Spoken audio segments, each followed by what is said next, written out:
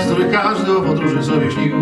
Zbudowali dworzec kolejowy, każdy kupił sobie bilet w nim. Lecz kiedy pociąg nadjechał i stał na peronie zdyszany, ktoś spytał, więc dokąd jedziemy?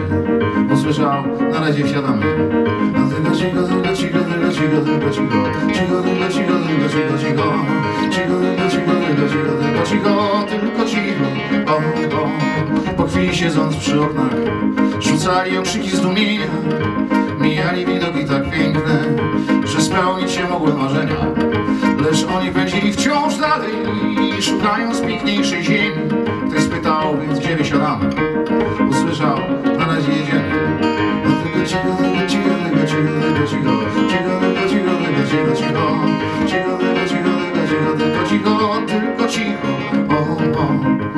Rozmowy ciągnęły się długo i pewno by jeszcze potrwały, lecz pociąg już bieg swój zakończył i każdy ten postój pochwalił. Zaś kiedy wyszli z wagonu, to nagle w zdumieniu siedli. Ktoś spytał, więc gdzie my jesteśmy? Usłyszał, na razie tu gdzieśmy wsiedli.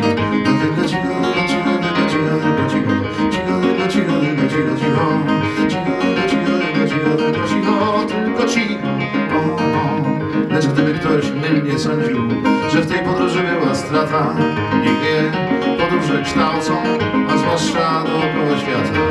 No tylko cicho, cicho, cicho, cicho, cicho, cicho, cicho, cicho, cicho, tylko cicho,